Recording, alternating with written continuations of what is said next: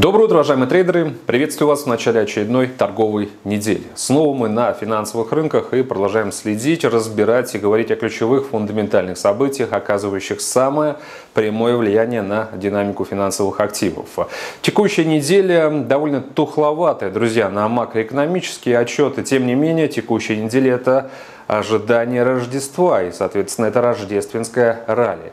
Многие трейдеры уже отдыхают, в принципе, отсутствуют на финансовых рынках, поэтому площадки низколиквидные. За низкой ликвидностью скрываются возможности того, что даже какой-то недооцененный отчет может спровоцировать довольно интенсивную динамику и очень интересное движение. К этому мы должны быть готовы, поэтому э, в ближайшие дни, подходя к трейдингу, друзья, прежде всего контролируйте риски, загрузку депозитов, потому что если что-то будет не так, э, движения, опять же, повторюсь, могут оказаться значительными, и чтобы они не подпортили вам настроение перед э, Новым годом. Сегодня, друзья, как и всегда, в 16.30 пройдет э, Вебинар «Правильный понедельник». Мы разберем э, также еще раз ключевые события недели минувшей. Посмотрим, безусловно, еще и на события эм, грядущие. Что касается э, прошлых событий, это важно, друзья, потому что мы делаем акцент на э, фундаментальный фон, на преемственность, опять же, этой фундаментальной картины, поэтому нужно, конечно же, разбираться и э, помнить, что у нас Э, ложится в основу наших долгосрочных позиций. Давайте начнем сегодня с нефтянки, посмотрим, что у нас интересного сейчас. Бренд 64.96, немного мы отступили от локальных э, максимумов.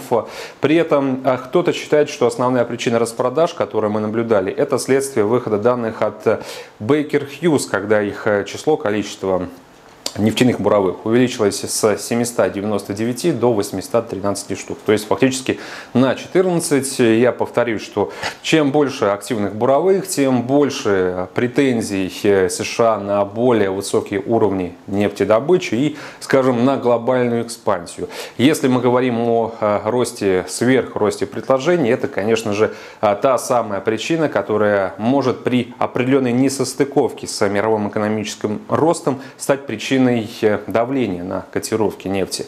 Но при всем уважении к статистике Baker Hughes, я считаю, что далеко не она выступила причиной незначительной коррекции. Скорее всего, речь идет о просто фиксации а, прибыли перед а, выходными, а, перед праздниками и не более. В целом по фундаменту он не меняется, он остается оптимистичным, потому что мы ссылаемся, опять же, еще на те комментарии, на которые я делал акцент на неделе, в конце прошлой недели. Это комментарий главного казначея США Стивена Мнучина о том, что соглашение первой фазы фактически уже готово, оно сейчас переводится, то есть согласованы все основные положения, каких-то сюрпризов там не будет. Соответственно, э, эту информацию подтвердили также представители Белого дома и лично Дональд Трамп. Поэтому сейчас мы можем быть спокойны и уж точно не переживать за то, что Э, сохраняющиеся все-таки еще спорные моменты и недосогласованности могут э, э, повлиять на сделку. По крайней мере, в рамках, в рамках первой фазы, наверное, уже сделки ничего не угрожает. Помимо того, что мы улучшили свои ожидания по перспективам мирового экономического роста, я повторюсь, друзья, что у нас как бы прицепом сзади идет еще другой фундамент. Это действия ОПЕК, которые направлены на дополнительное сокращение нефтедобычи. UBS э, прогнозирует, что в первом квартале избыток предложения может составить 300 э, тысяч баррелей в сутки по доп. производству. Между тем, я напоминаю, друзья, то, что только страны ОПЕК согласовали дополнительное а, снижение добычи на 500 тысяч. Соответственно, а, совокупное снижение сейчас увеличено с 1,2 до 1 и 7. В целом, новостной фон явно указывает на то, что на рынке сохраняется оптимизм. Этот оптимизм, как факт улучшения рыночных настроений, ложится в основу, ну, лично моего, друзья, субъективного убеждения в том, что котировки окажутся выше. Идем дальше. Доллар иена 109.42. Важно отметить, что мы пытались с вами еще по итогам прошлой неделе с отсылкой на отчеты, которые были запланированы в пятницу, это годовые данные по ВВП, личным доходам, личным расходам, э, определить, как нам действовать по паре дальше. Э, по статистике данные неплохие. Годовые данные э, по ВВП 2,1 с 2,1, в принципе, значение совпало с прошлой оценкой, это хороший показатель. Личные доходы выросли на 0,5% с 0,1%. Личные расходы также увеличились до 0,4%. И Мичиганский индекс доверия потребителей 99,3 это один из самых лучших показателей за последние полгода, друзья. Хорошая статистика. Возвращаемся к идее того, что до тех пор, пока Трамп не надавит на Федрезерв, скорее всего, американский регулятор пока что не будет торопиться дальше с дополнительным монетарным э, стимулированием. И, э, опять же, я хочу отметить, что если у нас сейчас с вами нет причин говорить о том, что ФРС э, возобновит снижение процентной ставки, это может произойти, но позже, друзья, мы, если будут новые вводные, изменим свою позицию. Но пока что она такова, что у доллара нет особых причин для ослабления, в то же время касательно геополитического фона мы говорим о оптимизме в отношениях США и Китая. То есть нет э, особой необходимости сейчас уводить капиталы в защитные инструменты, такие как иена.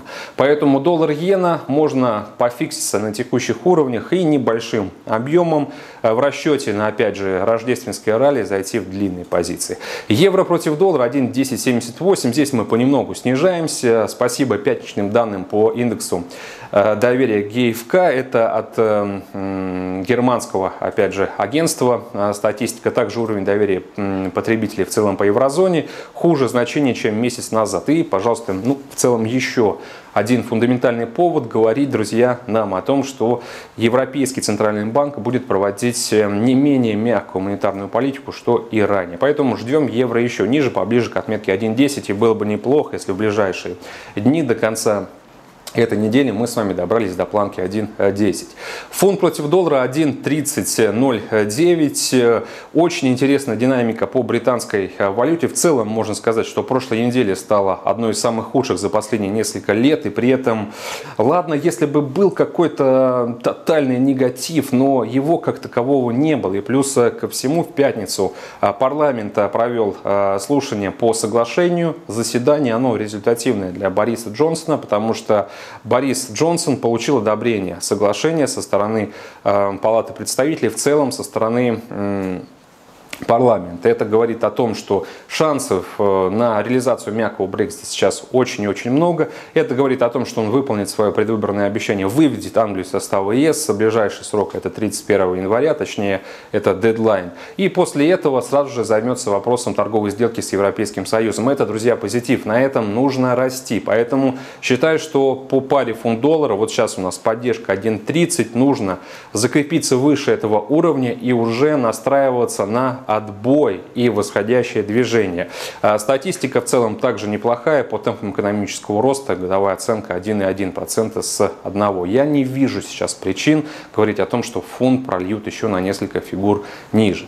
Эм, доллар канадец 1,3157. Сегодня, кстати, важный отчет по темпам экономического роста. Это своего рода резюме а, производственных заказов э, и розничных продаж, которые мы получили на прошлой неделе. Розничные продажи минус 1,2% плохая статистика. Я говорил, друзья, что если выйдут слабые цифры, это позволит нам говорить о том, что Банк Канады э, не то чтобы присоединиться к прочим регуляторам по смягчению монетарной политики, но э, должен сделать акцент на то, что э, ему все труднее, наверное, игнорировать негативное влияние на национальную экономику, сохраняющуюся глобальной неопределенности. Если сегодня, друзья, темпы экономического роста также разочаровывают, уверен, уверенно ждем э, возобновления роста и закрепления пары поближе к отметке 1.33. Ну, на этом, собственно, все. Большое спасибо за внимание. Хорошей вам торговой э, сессии, хорошей торговой недели. Я, разумеется, с вами остаюсь на ежедневной основе и буду держать вас в курсе о всем, что сейчас происходит. Всего доброго, до свидания.